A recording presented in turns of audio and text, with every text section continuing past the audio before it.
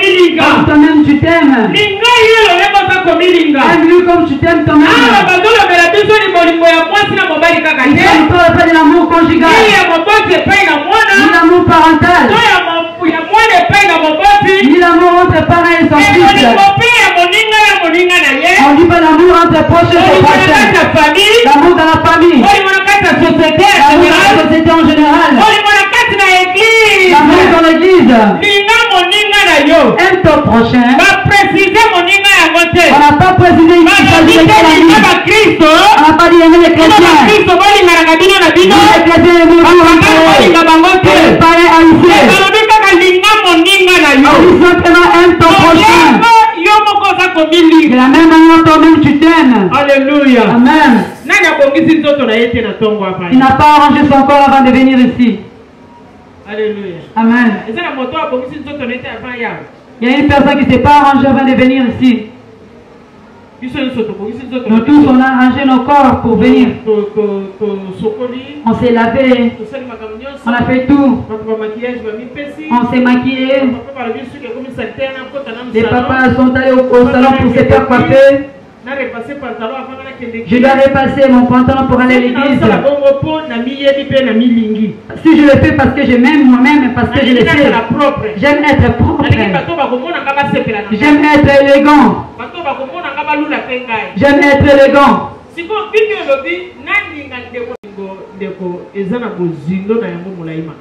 Pour définir l'amour, c'est tellement profond. Mais façon nga nazo yebisa yo lelo. La manière je vais te parler aujourd'hui. Comprendre bolingo nini nzambe azo senga yo olinga ndeko na yo. Tu vas comprendre il s'agit de quel amour que Dieu te demande. Comment tu vas l'aimer?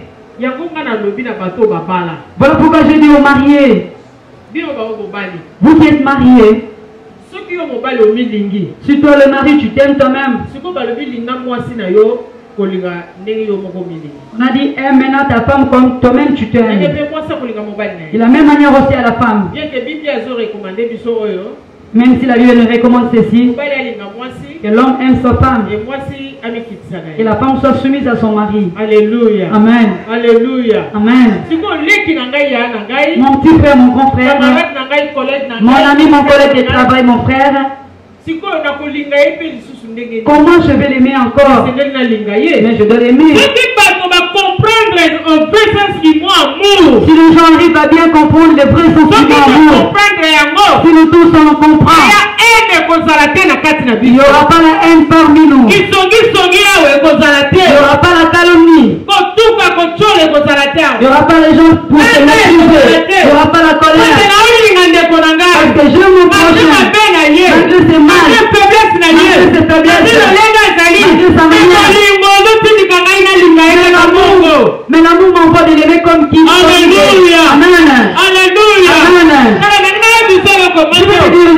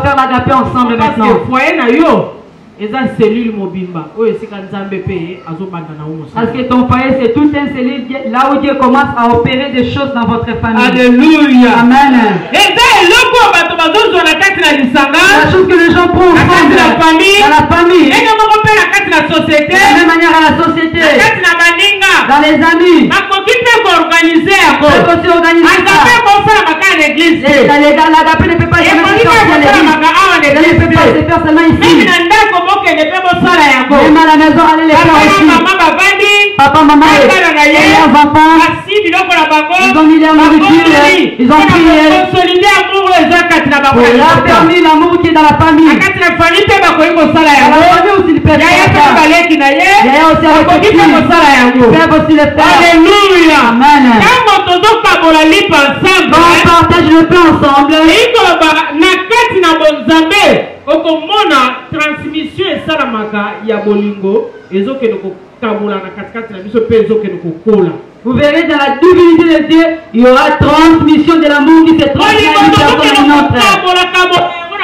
On partage l'amour parmi nous.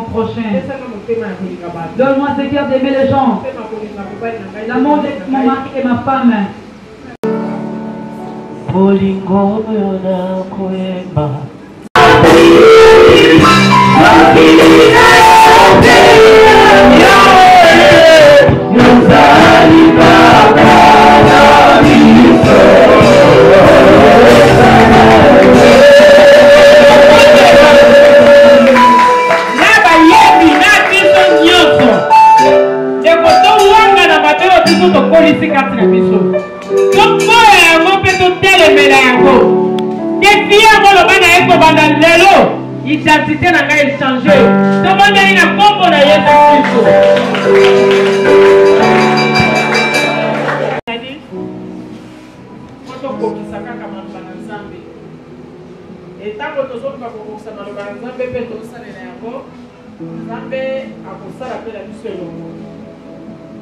Tomoni meme na eglise primitive bazwaki mpe basanganaki bayebi mpe ensemble. Tolingi toconsolide amour na kati na eglise. Tozala moto moko na makanisi moko na susi moko na etamboli moko na pense moko mpo na kokolisa bondeko katikati na biso awa monguna na biso aza te Ennemi aza te yango omoni tozolia ensemble parce que monguna aza te e ndenge tozolia ensemble boye ndenge mpe tokolia ensemble lobi mpe lobi mpe lobi kino tokozala kozonga na yesu kristo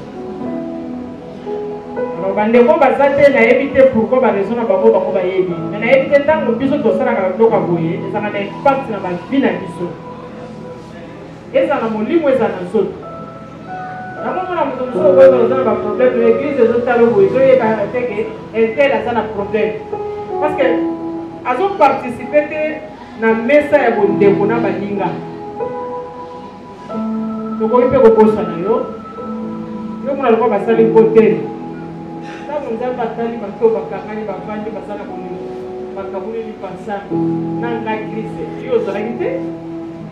eza likama soki oyoki bambela ya boye olingaka kozanga te soki bana bazali kozangisaka mpe bana te amen amen nzambe biloko oyo ebotambwa malamu kati na mitema na biso Seigneur, ekolisa bondeko na kati na lingomba, ekolisa bondeko ya biso na Nzambe na biso, ekolisa bondeko ya biso na bazalani na biso, ekolisa bondeko ya biso na bakota na biso, na bafami na biso, mpe na baninga na biso, na bakarte esika tozali bolingo ete kokola katikati na biso. Tosali ezali maloba na yo Nzambe.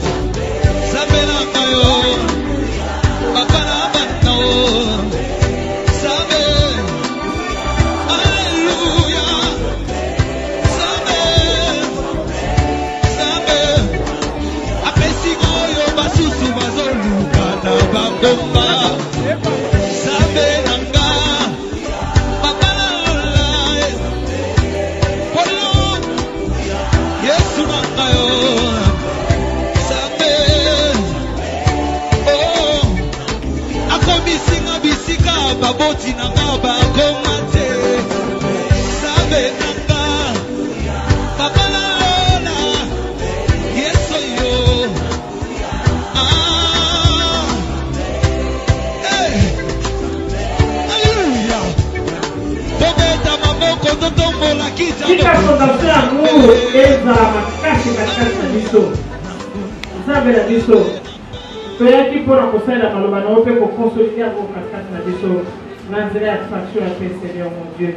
Papa, sala biso grâce. Yo, ngai natikali lokola mosali Nzambe, na merite te nazwa lokumu oyo mpe honneur oyo, parce que le mérite, zwa yango na nkombo na Yesu.